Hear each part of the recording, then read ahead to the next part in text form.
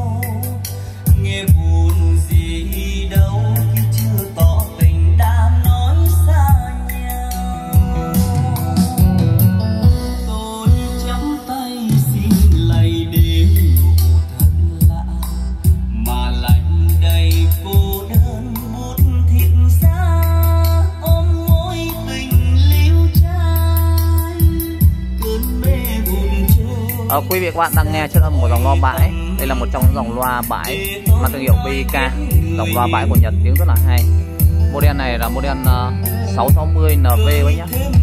À, hình thức loa của nó thì nó model này nó giống như kiểu uh, dòng ờ, uh, 668 nó sử dụng một bass 25 hai chiếc tiếng rất là hay. Hiện tại cho clip này em đang tiếp con đẩy NUB với mã R1000 và đôi loa BK thì với cái chất âm của cái dòng à, đẩy này thì tiếng nó rất là mượt nữa nhá. Tiếng bass sâu mềm chép sáng và dòng này thì nó rất là lành. Mạch uh, có đắt hát đời cao nhé 6 một kênh con đẩy này giá là 3 triệu 300 nghìn.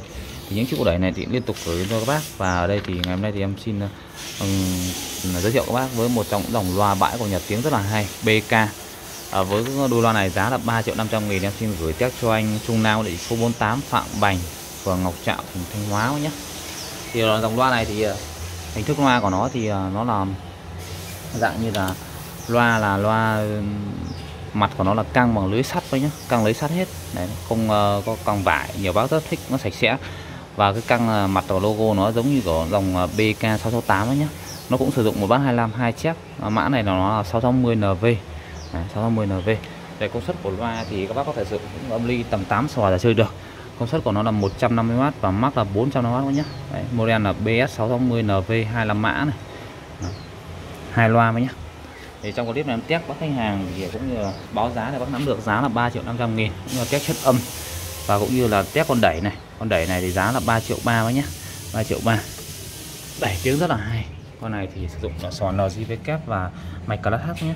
Class H thì nó không tính, nó không dùng nhiều sò như class AV nhưng mà đổi lại thì đánh rất ổn định và công suất ra hiệu quả. Con này giao loa bằng cọc loa cả giáp trích còn tín hiệu vào canon, có đường link đầy đủ hết nhé, nguồn là nguồn rời đẩy này thì nói chung là còn rất là mới và đẹp. Cái clip em cũng xin test à, và báo giá như vậy để quang nắm đời em xin chào các nhé.